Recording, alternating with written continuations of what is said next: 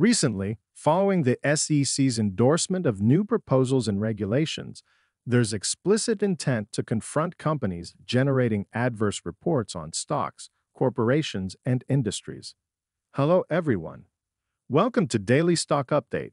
If you are new to the channel, be sure to subscribe to the channel and turn on post notifications by hitting the bell so you never miss any of our uploads and also enter our giveaway.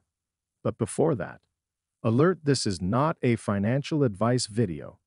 The GameStop saga, coupled with the emergence of activist short sellers disseminating negative research to drive down share prices, has captured regulatory attention.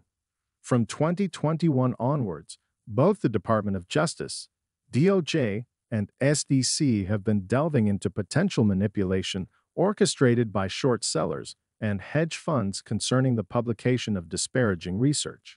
The SEC officials stated that these newly sanctioned rules, already approved and voted upon by the Commission, will bolster their efforts in pursuing these individuals and similar reports in the future. It's plausible to affirm that the days of unfettered short sellers are numbered.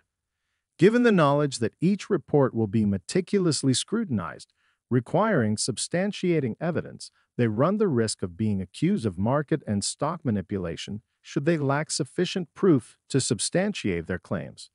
It's a significant paradigm shift, necessitating credible evidence for crafting reports concerning negative catalysts or predictions for any stock appealing to short sellers.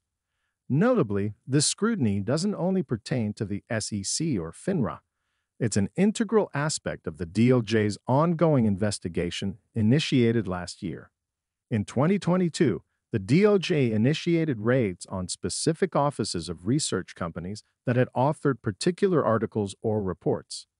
Substantial amounts of hardware, paperwork, and documentation were seized in these operations, underscoring the gravity of the situation. Should the SEC suspect market manipulation due to inadequately supported negative reports, they can swiftly channel the case to the DOJ, assembling all necessary evidence. Consequently, short sellers and research firms may find themselves embroiled in legal trouble. Given this reality, it's highly unlikely that these tactics will persist. Hence, it's not surprising that, since 2021, the frequency of negative articles, titles, headlines, and reports concerning stocks has decreased. Many anticipate that these organizations and agencies exercise caution due to the potential repercussions and their influence on specific securities in the open market. The absence of recent cases indicates a growing awareness of the forthcoming regulatory changes. Moreover, the prospect of a certain stock plummeting to zero based on groundless speculations is now a precarious position. The requirement for credible evidence to substantiate negative reports will dissuade unwarranted bashing of stocks.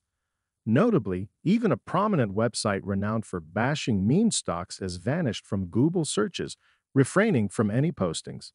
Some public figures have opted to deactivate their online accounts, especially those who previously expressed no negative sentiments about the stock hinting at a conscious effort to maintain influence discreetly. In summary, this transformation is already underway.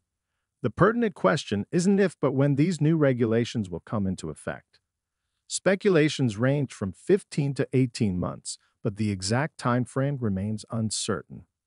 One is certain, however, is that this facet of the market will undergo a transformation.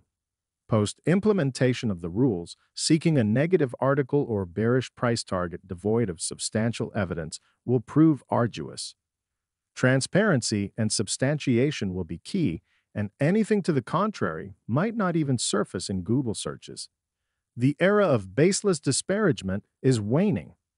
Friends, that's all we have for you today. What is your opinion about today's video? Get involved and let us know in the comments down below. Thanks for watching.